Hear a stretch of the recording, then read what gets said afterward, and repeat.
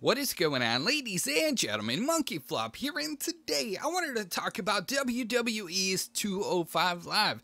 I don't know if you guys saw a change in the show since maybe mid January of this year. Well, if you did, then that's because Vince McMahon has stepped aside and put Triple H in charge of WWE's 205 Live. Now, according to WrestlingInc.com, and PW Insider, they have reported that the major behind the scenes changes on with uh, the WWE 205 Live brand as Vince McMahon has stepped aside and is no longer personally producing the show.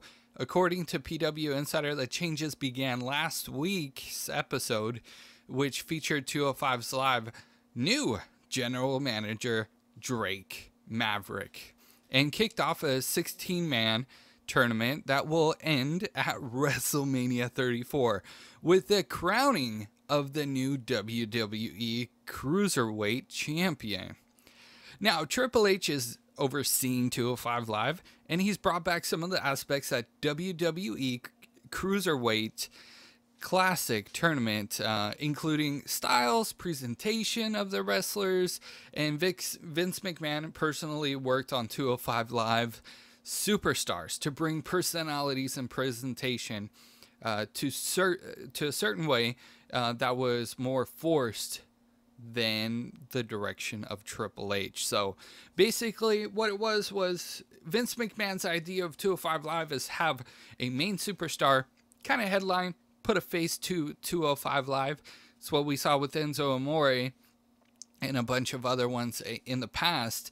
And uh, now it's kind of like, okay, Triple H is taking the the the rings of this, and now he's bringing it back to wrestling and uh, kind of back to how it used to be, with without just one face of uh, 205 Live. I'm sure once WrestleMania comes around and uh, after the 16 man tournament uh, and crowning the new WWE Cruiserweight Champion, of course, they're going to have a face, they're going to have a champion, but it's not going to be just about one single person all of the time. It's going to be focused more about the wrestling and the wrestlers in general which I think that that's a great plan. That's a great idea. We'll have to see how Triple H's direction goes now that we know that he's in full control of 205 Live. It'll be interesting to see how the show kind of shifts and takes a new form.